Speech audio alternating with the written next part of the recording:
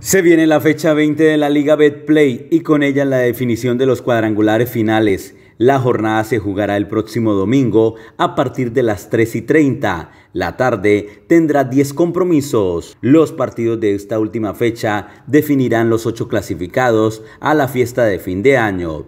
La jornada se jugará de la siguiente manera.